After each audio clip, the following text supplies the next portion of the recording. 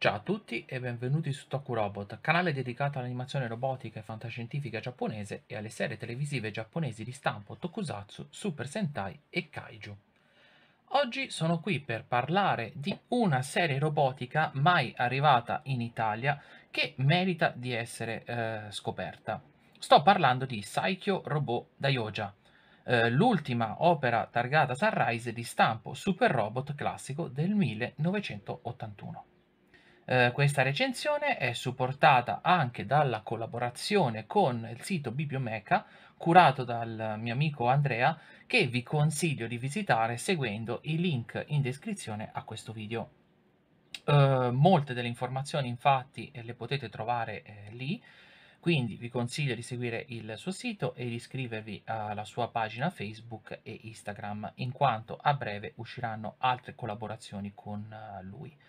Eh, in aggiunta a supportare questa recensione ho voluto utilizzare alcuni volumi e artbook della mia collezione che parlano appunto del super robot in questione. Parliamo quindi di Daioja, una serie che eh, non è mai riuscita ad arrivare sulle televisioni in Italia, eh, sebbene qualche giocattolo all'epoca sia riuscito a raggiungere il nostro paese. Si vocifera infatti, ma la fonte non è certa, che la serie eh, dovesse essere acquisita dalla Vid, la stessa di Gundam, eh, Gundam per intenderci. Ma per qualche problema, o forse perché il mercato ormai all'epoca era saturo, la serie non fu acquisita. Eh, questa fonte comunque, ripeto, non è confermata del tutto e infatti ci sono troppe indiscrezioni a riguardo e consiglio comunque di prendere il tutto molto eh, con le pinze, anche se il giocattolo di Daioja arrivò in Italia negli anni Ottanta tramite la Cepirate con eh, il nome di Dioja.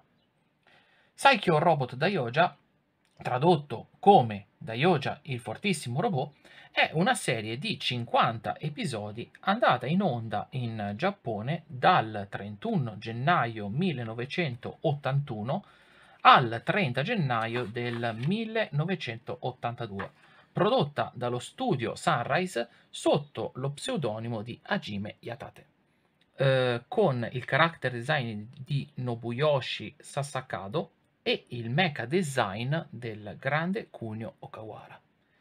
Ehm, in breve, la trama. Il lontano regno di Edon è un pianeta che fa capo ad un regno galattico composto da ben 51 pianeti eh, che costituiscono la cosiddetta alleanza stellare. Erede al trono di Edon è il principe sedicenne Edward Mito. Il carattere esuberante e avventuroso del giovane principe porta il ragazzo a lasciare la noiosa vita di corte e intraprendere un viaggio per tutto il regno galattico al fine di valutare coi propri occhi la condizione generale della sua popolazione. Assumendo l'identità segreta di Bochan, eh, che è la traduzione di ragazzino in giapponese, il principe Mito eh, viene accompagnato dai suoi fidati collaboratori eh, Baron Karsus, eh, che assume il pseudonimo di Kaku, Duke Scud, che assume lo, lo pseudonimo di Suke, e Flora Shinobu, un'esperta ragazza ninja. Nel corso del suo viaggio, Mito scopre che i, po- i popoli del regno sono spesso vittima eh, di umiliazioni e sopraffazioni da parte di ricchi possidenti che sfruttano l'avanzata tecnologia per soggiogare i deboli. Nel momento in cui la situazione è, estrem- estremamente critica, il principe decide così di entrare in azione e svelare la sua vera identità, con stupore dei diversi abitanti.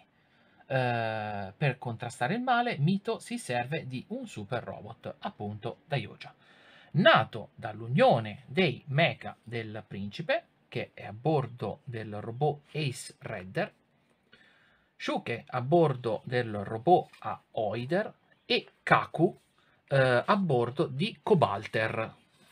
E il cui simbolo sul petto è la piena dimostrazione del rango del, del principe. Grazie all'intervento del Daioja, i pianeti visitati riescono a trovare nuovamente la pace e l'equilibrio. Tra una battaglia e l'altra, inoltre, il principe eh, deve vedersela anche con il suo precettore, Valgen, il quale, mh, mm, insieme al suo maggiordomo Jinnai, insegue Mito al fine eh, di convincerlo a tornare a casa.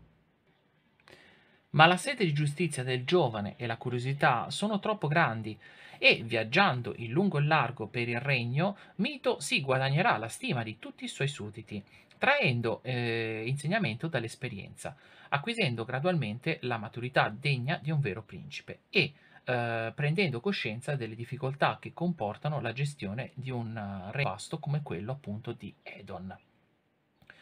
Orgoglio dell'avanzata tecnologia del regno di Edon, Daioja, che significa eh, grande sovrano, nasce dall'unione di tre unità. Abbiamo detto appunto Cobalter, pilotato eh, da Kaku, Aoider, pilotato da Shuke, e il più importante appunto Ace eh, Redder, pilotato dal principe Edward Mito. L'operazione um, Cross Triangle può essere eseguita solo dal principe Mito, mentre il richiamo di ogni singolo robot avviene attraverso il comando vocale del suo pilota, che tramite la spada invia gli impulsi ai tre mecha alloggiati all'interno dell'astronave Pour.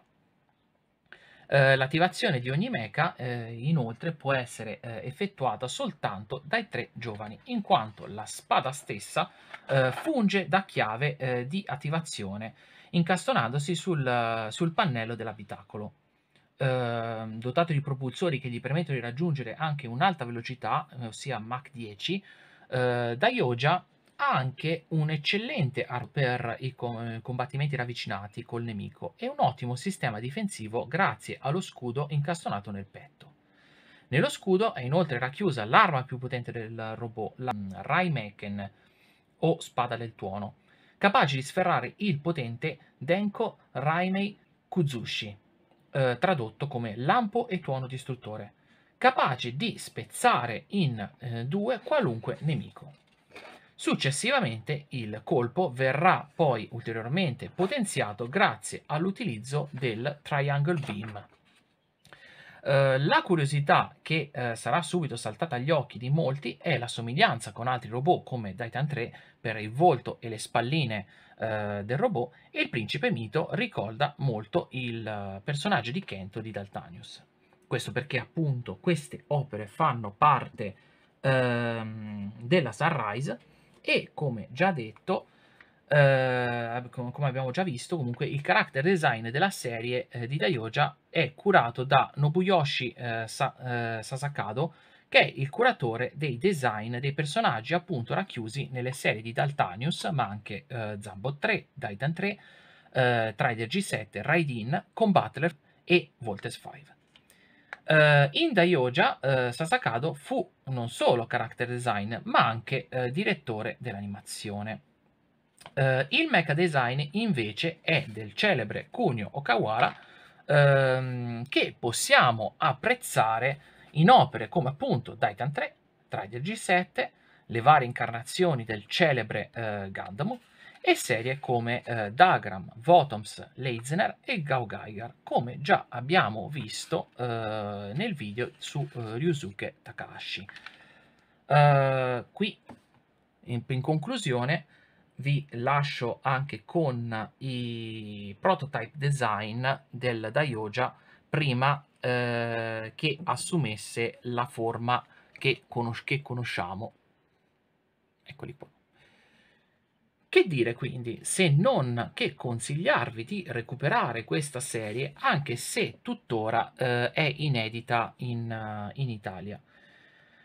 Io, come sempre, vi ringrazio eh, per aver seguito la mia recensione. Se vi è piaciuta, lasciate un like e iscrivetevi al canale per altri contenuti e vi ricordo anche di seguire eh, i link al sito di Bibliomeca che eh, ha collaborato con me a questa recensione. Un saluto e al prossimo video qui su Toku Robot. Ciao ciao!